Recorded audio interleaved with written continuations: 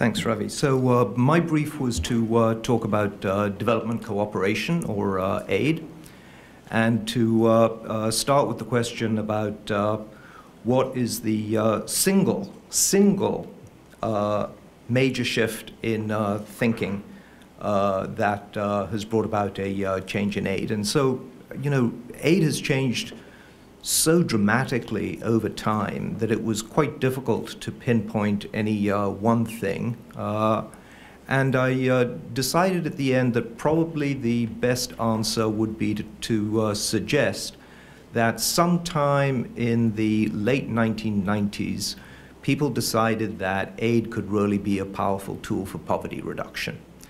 Uh, there was a, uh, before that, aid had always been organized essentially as a relationship between countries. It was a government to government uh, transaction, and the principal purpose, as Rohinton uh, said in his uh, introduction, was really about alliances. Uh, aid was uh, an effort to integrate countries into a uh, uh into a, either a Western uh, alliance or aid from uh, the former Soviet Union into a into an Eastern alliance. but it was always seen as a way of building country relationships rather than of poverty reduction.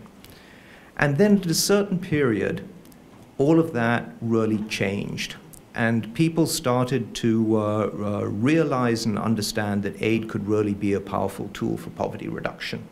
Uh, and I think that that also uh, uh, reflects uh, Armando's point that over time, perhaps with democratization, people came to understand that governments had a responsibility in their own countries to, to try to reduce poverty. The change, I think, in that, uh, uh, uh, in that thinking happened partly because of changing initial conditions. in the early stages of the, the of aid, poverty was so large, was so deeply entrenched, the level of aid resources was so small that thinking that aid could have a really significant and substantial impact on poverty reduction was rather wishful. You know, aid was always seen as being a drop in the bucket. And then around the turn of the century, you started to have numbers that suggested that you could do much, much more with aid. So the number of people living in extreme poverty was starting to come down to somewhere between one to uh, two billion uh, people uh, in the uh, world.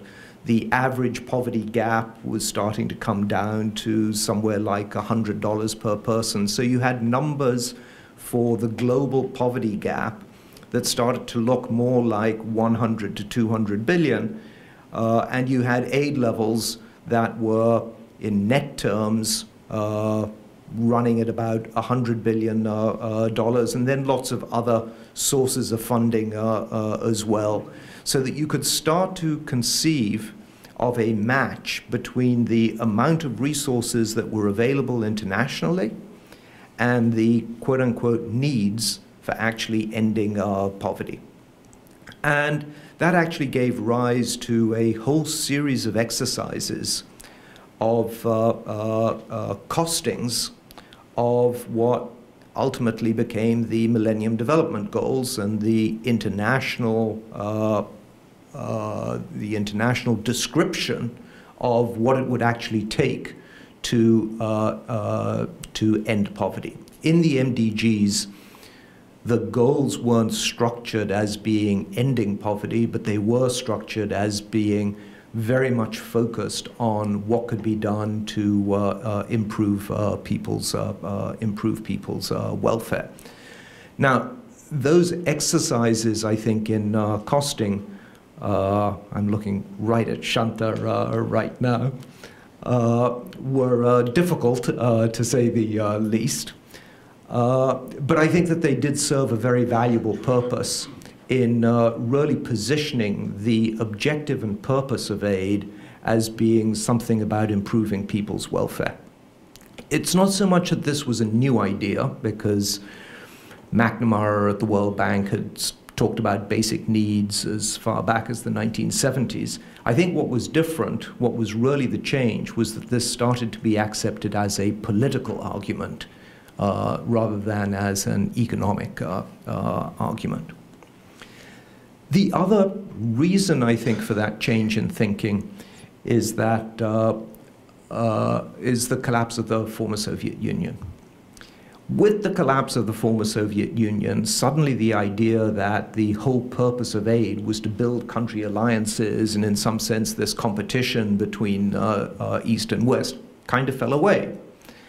So people needed, and as in, instead of that resulting in a major peace dividend, actually exactly the opposite happened, at least as far as aid and development cooperation went. You got a fall in resources going into uh, international uh, uh, cooperation, uh, both bilateral and uh, multilateral.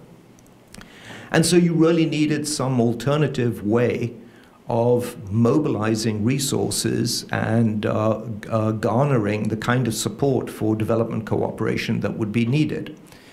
And what turned out to be the politically most powerful argument was that aid could actually do something to help the lives of poor people. So it really did become, from a political point of view, something that became uh, truly important for generating support for uh, larger aid budgets.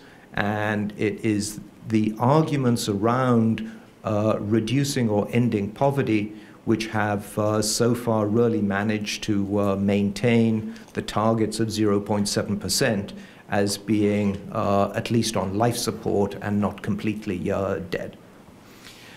So what are the consequences of this uh, shift? First and foremost, I think, is uh, the idea that actually aid should be about what people want and need, and poor people in particular, rather than about what countries want and need. And uh, that has generated, I think, a much broader agenda. And when you start to ask people about what are the things that they care about, you get into a whole range of issues that were previously not tackled by the aid business. So you start to uh, get into issues about uh, governance, corruption, human rights. Uh, it's a uh, much, much broader uh, uh agenda, I would say, than, than before. Second, I think as you start to get into uh, what is it that people uh, uh, want and need, and as you get into these ideas of aid as a tool of soft power in the post um, Soviet Union collapse world, you've had a tremendous uh, amount of fragmentation. Uh, everybody can make a contribution to ending global poverty, both at home and abroad. That's a good thing in terms of the volume of resources. It's quite a complicated thing in terms of the organization of uh, resources. And so uh, I think one consequence of this uh, change is that because more and more people now feel empowered to act uh, you also get more and more overlap. And with that additional overlap comes additional waste and fragmentation. Uh, I think you've also seen a decline of the growth agenda and much more short-termism because as people uh, uh, focus on, well, what can we do for poverty, they want results now. Uh, whether that ends up being a positive or a uh, negative uh, development, I think still needs to be uh, seen, but I think that there's no uh, question that there has been uh, a uh, fairly dramatic shift Uh, towards much more immediate impact, uh, and that means focusing on a, uh, on a few sectors, things like health and education, where it's quite easy to see reasonably immediate results.